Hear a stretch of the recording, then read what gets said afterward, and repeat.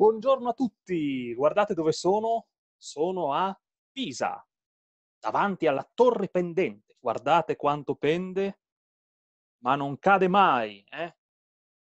E oggi qui da Pisa vorrei insegnarvi un po' di gesti, gesticolare un po' con le mani. Eh?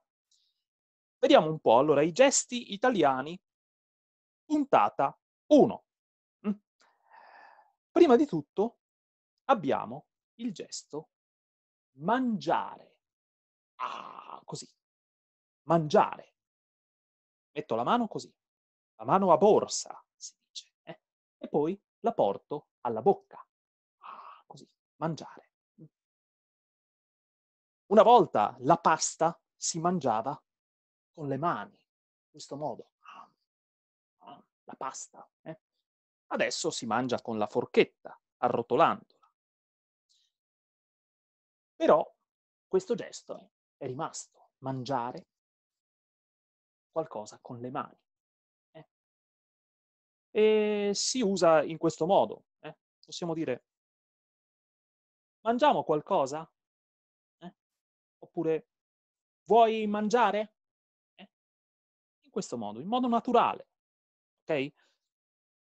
Adesso vediamo il secondo gesto, gesto numero due, che è bere. Con le mani formiamo una bottiglia, così. Ok? E poi beviamo. Bere. Ok? Così. In Giappone si fa questo gesto per bere e questo per mangiare, però sono molto diversi. Eh?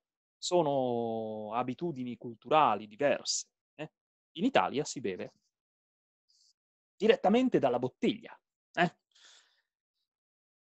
Quando diciamo ho sete, oppure andiamo a bere, così. Hm? Oppure, non so, vuoi bere qualcosa? Eh? Si può usare questo gesto, la bottiglia. Bere. Eh? Numero tre. Numero tre è un gesto molto conosciuto in Giappone. Buono, buono, buono, così. Mm.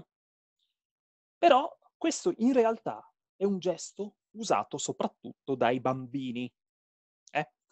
dai bambini piccoli, per dire buono. Mm. Gli adulti usano un altro gesto che è questo. Quando beviamo un bicchiere di vino, diciamo, fantastico. Oppure, non so, quando mangiamo una buona bistecca, buonissimo. Poi l'ultimo gesto di oggi è che fame, che fame, così. E si mette la mano di taglio sullo stomaco. È un gesto che si fa quando si ha fame e si vuole mangiare. Mmm, che fame! Mangiamo qualcosa? Ok? Per oggi è tutto, ragazzi. Ci vediamo. Ciao!